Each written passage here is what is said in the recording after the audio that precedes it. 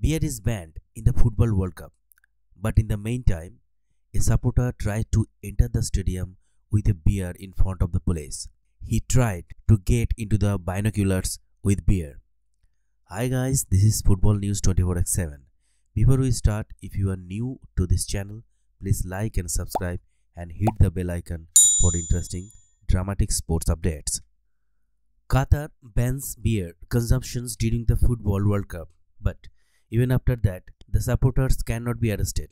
A fan tried to enter the stadium and take a beer, but last time police stopped him before entering the stadium. The incident happens before the Mexico versus Poland match. The Mexican fans tries to take a beer to the telescope. No problem, he thought.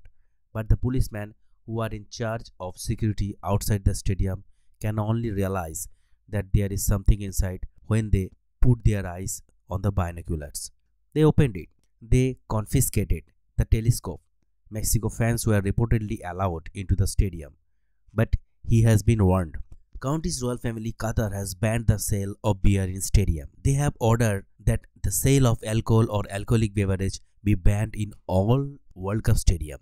The organizers of the World Cup could not directly reject this order of the royal family. FIFA has decided to stop the sale of beer in the stadium at the last minute on the order of the Qatar government. Football fans around the world are outraged by the decision. The picture was seen in the first match. During the game against Qatar, Ecuador fans chanted, Beer wants, beer wants, beer deo. We know that.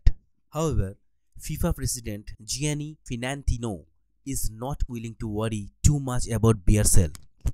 At a press conference in Doha on Saturday, he told a press conference that beer would sign the full ban treaty if it was their biggest problem. Not stopping there, he said, We attempted to till the last moment to sell brew in the arena still. I would say everyone would survive three hours without a beer. Perhaps this is why France, Spain, and Scotland have banned the sale of beer in stadium. Maybe they are smarter than us.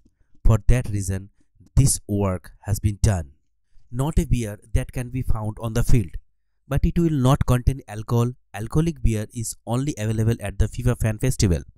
In addition to beer, whiskey, rum, and wine are also available at selected hotels. The Qatar government at first consented to the solicitations to sell beer in the arena but suddenly reversed on Friday. FIFA also issued a statement announcing the cancellations of the decision. The decisions angered not only fans but the beer industry as well. They fear a weak financial loss. Until now, beer was sold from temporary beer shops in the stadium and fan zones for 30 minutes before and after kickoff. Football fans can enter the gallery by drinking beer in certain area of the stadium. Foreigners can buy beer on the stadium premises only if they have a ticket to watch the game. A person cannot buy more than 4 glasses of beer. Beer consumption is also restricted to avoid possible riots. But with the new demands on the royal family, that system has also been stopped. Do you think you should eat beer in the stadium? Please comments below. Till then, goodbye.